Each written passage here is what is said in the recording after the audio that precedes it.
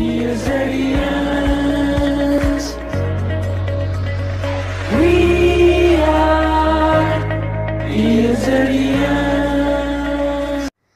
hello students good morning कैसे हैं आप लोग? मैं हूँ सचिन। और एक बार फिर से स्वागत करता हूँ हमारे YouTube channel E S Z academy पे।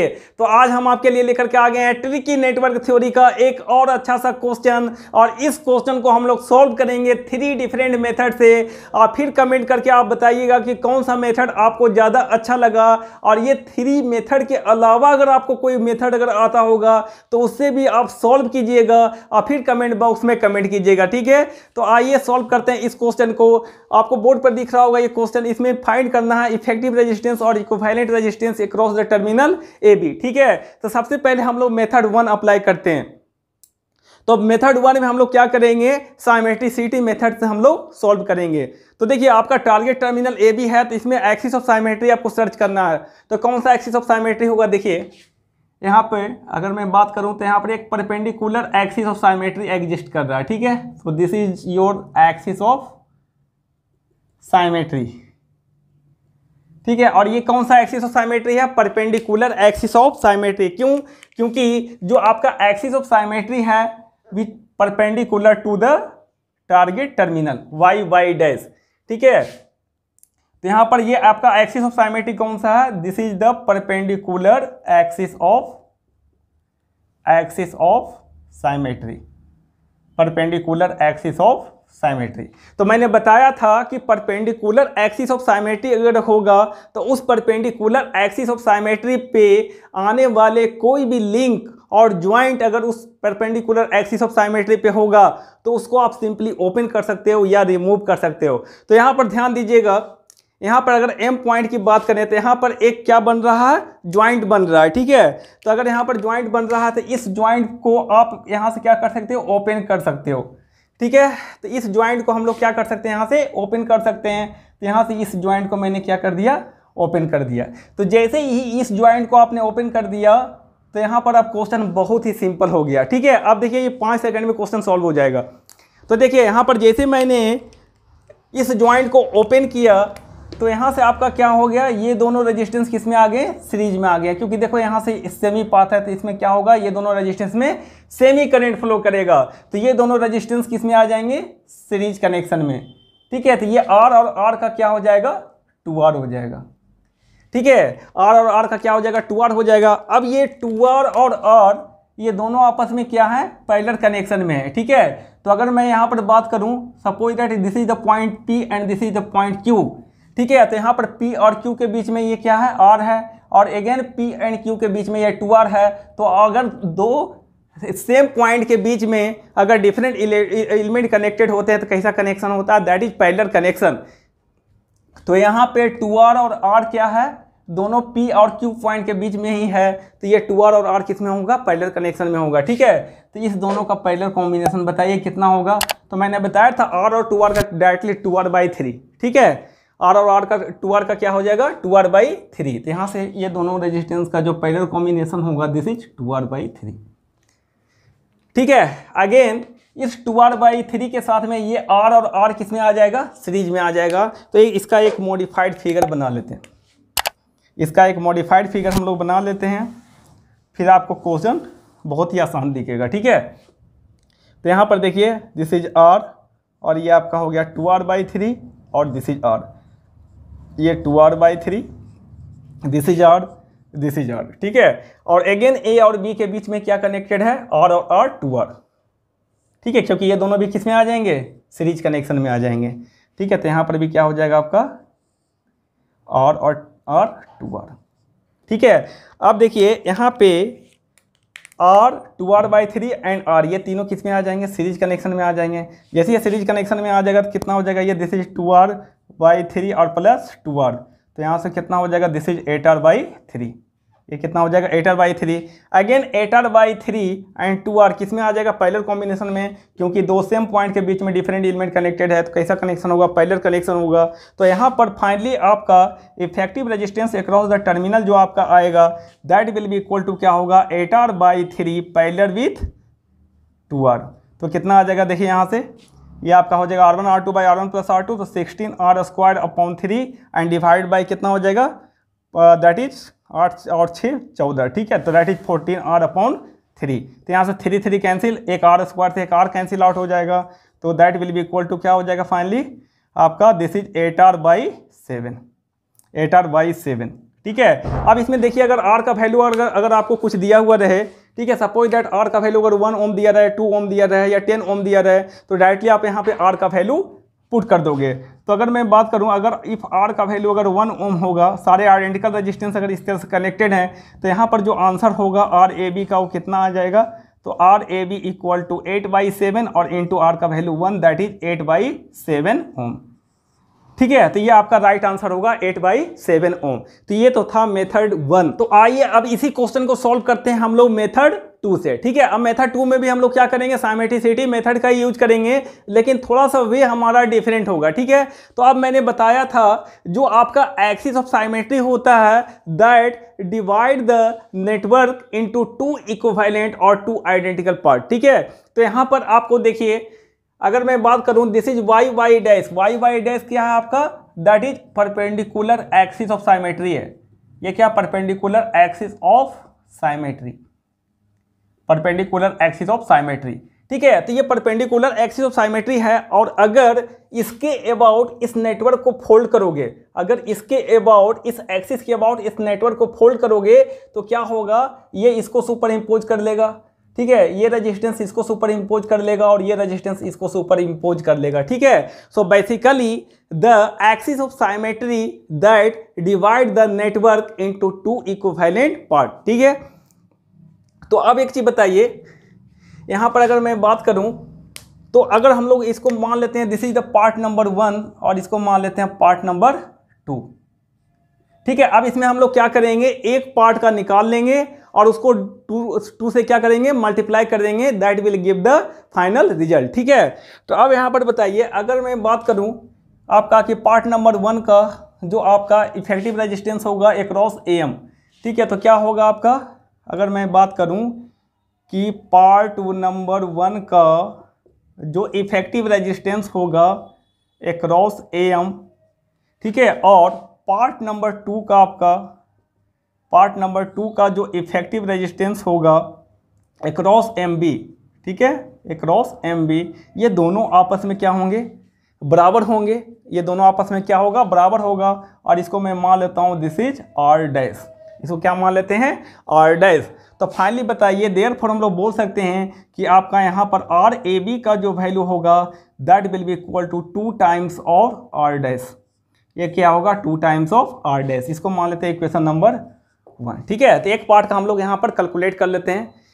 That is R A M निकाल लेते हैं, उसको टू से मल्टीप्लाई करेंगे तो क्या हो जाएगा? ओवरऑल रेजिस्टेंस निकल जाएगा। That is R A B ठीक है? तो अब यहाँ पर देखिए, एक पार्ट का मैं कैलकुलेट करता हूँ। ठीक है, एक पार्ट को कैलकुलेट करते हैं तो देखिए, यहाँ पर क्या है? This is the axis of symmetry और मैंने एक और पॉइंट बताया था कि एक्सिस ऑफ़ साइमेट्री क्या होता है? इक्वी पोटेंशियल लाइन होता है। मतलब उस पर आने वाले सारे पॉइंट क्या होते हैं? इक्वी इक्वी पोटेंशियल पॉइंट होते हैं। ठीक है? तो अब देखिए यहाँ पर इसका थोड़ा सा एक मॉडिफाइड फिगर बना लेते हैं। तो this is the axis of symmetry ये आपका क्या है? एक्सिस ऑफ़ साइमेट्री है। वाई वाई डैश ये क्या है आपका? एक्सिस ऑफ़ साइमेट्री है। अब देखिए कनेक्शन किस तरह से है। इसको सपोज़ डेट मैं मान लेता हूँ यहाँ पे। इस पॉइंट को मैं मान लेता हूँ दिस इज़ एन इसको क्या मान लेते हैं? एन ठीक है? तो यहाँ पर क्या है आपका? अब देखिए ध्यान दीजिए, जैसे आपने एक्सिस ऑफ़ साइमेट्री ये लिया तो क्या होगा? ये इस रजिस्टेंस को क्या करेगा? इस रजिस्टेंस को दो पार्ट में स्प्लिट कर देगा। तो इस पार्ट में चला जाएगा आर बाई टू और इस वाले पार्ट में चला जाएगा आर बाई टू ठीक है? क्योंकि आपको पता है कि जो आपका R इक्वल टू होता है that is rho L by A होता है। तो यहाँ पर अगर हम लोग बात करें तो R is directly proportional to L ठीक है? तो एक अगर आपका रजिस्टेंस है, जिसका वैल्यू क्या है? आर है और इसका लेंथ क्या है? दिस इज़ एल है। ठीक है, और इसको अगर हम लोग दो पार्ट में कट करते हैं, अगर हम लोग दो पार्ट में कट करते हैं तो इधर कितना हो जाएगा? This is L by two और ये क्या हो जाएगा? एल बाई टू तो अगर ये एक पार्ट का, अगर ये एक एक पार्ट का एल बाई टू हो गया तो रजिस्टेंस भी इसका क्या होगा? That is R by two इसका भी क्या हो जाएगा? आर बाई टू क्योंकि आर क्या है? डायरेक्टली प्रोपोर्शनल टू एल है। ठीक है, बस इसी कॉन्सेप्ट को हम लोग यूज़ किए हैं। तो यहाँ पर क्या हो जाएगा? पार्ट वन और पार्ट टू दोनों में स्प्लिट होकर के कितना रजिस्टेंस आ जाएगा? R by two and R by two, ठीक है? अब देखिए this is the point N ये पॉइंट क्या है? एन है, और यहाँ पर रजिस्टेंस कितना हो गया?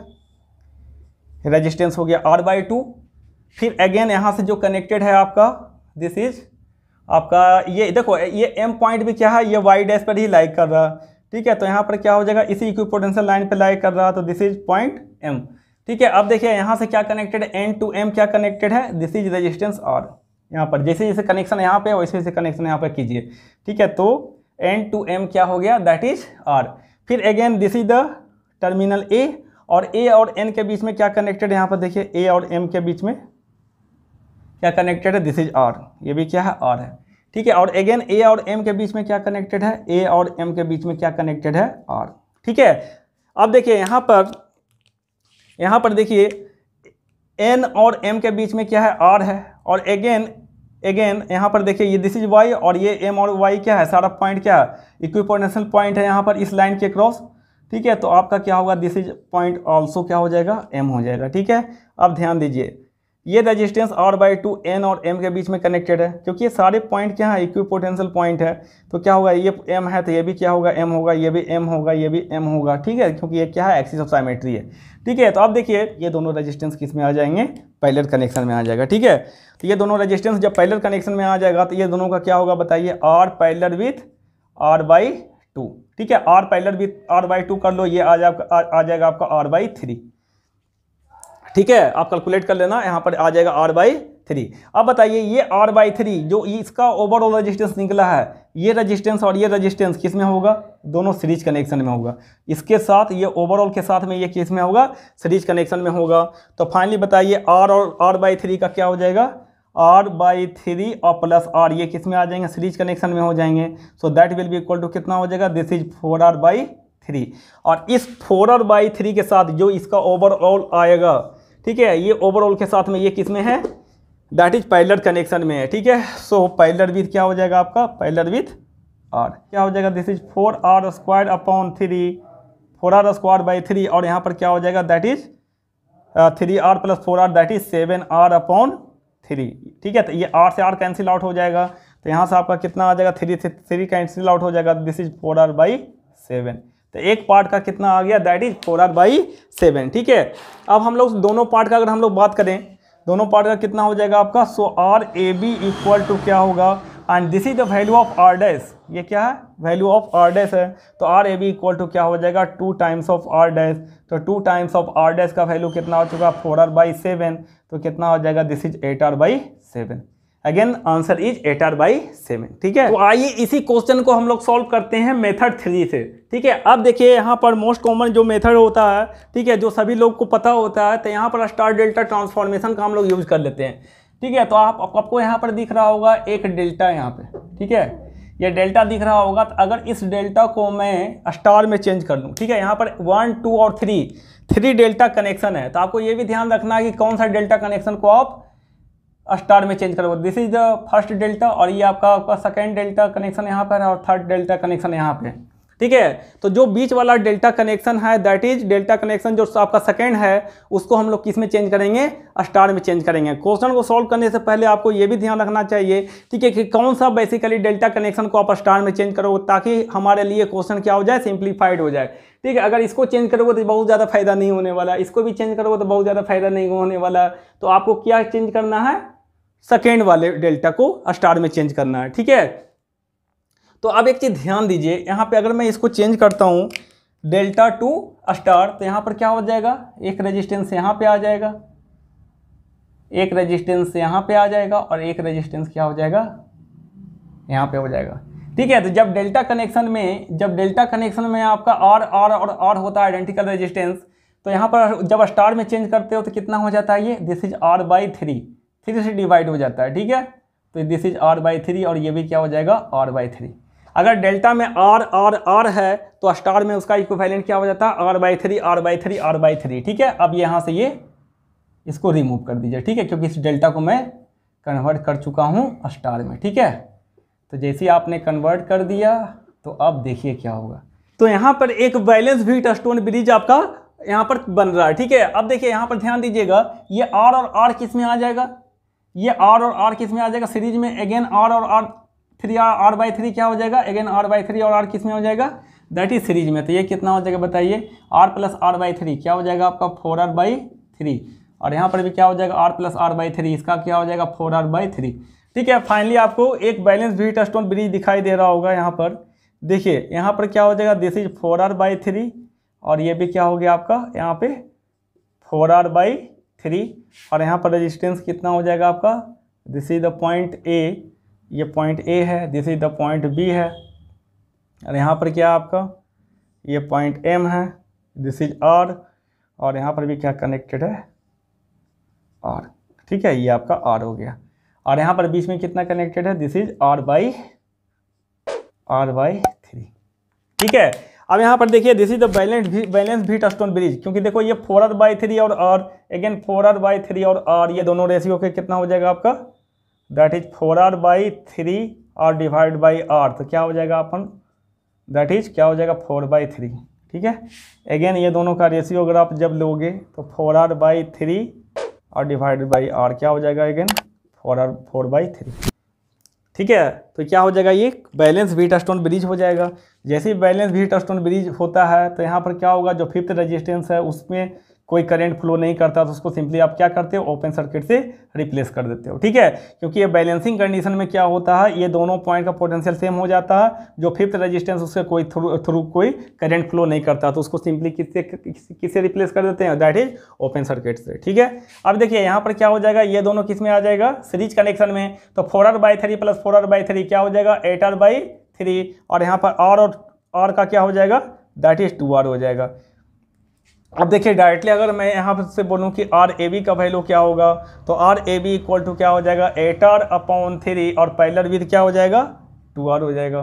तो कितना आ गया यहाँ say that is six are और ये एट आर ठीक है? तो यहाँ से आपका आ जाएगा sixteen R square upon three और डिवाइडेड बाई कितना हो जाएगा? That is fourteen R upon three तो ये दोनों कैंसिल आउट हो जाएगा तो यहाँ से आर और आर कैंसिल आउट हो गया। तो यहाँ से आंसर आपका आ जाएगा eight R by seven again answer is the eight R by seven तो ये थ्री डिफरेंट मेथड से मैंने इस क्वेश्चन को सॉल्व किया और आपको देखिएगा इस क्वेश्चन को अच्छे से। ठीक है? और फिर बताइएगा कमेंट करके कि कौन सा मेथड आपको सबसे ज़्यादा अच्छा लगा? और इस मेथड के, तीनों मेथड के अलावा अगर कोई मेथड अगर आपको आता होगा तो उस मेथड से भी इस क्वेश्चन को सॉल्व कीजिएगा और फिर कमेंट करके बताइएगा कमेंट बॉक्स में कि क्या आंसर आपका आ रहा है। ठीक है? तो ये बहुत इंपॉर्टेंट क्वेश्चन था।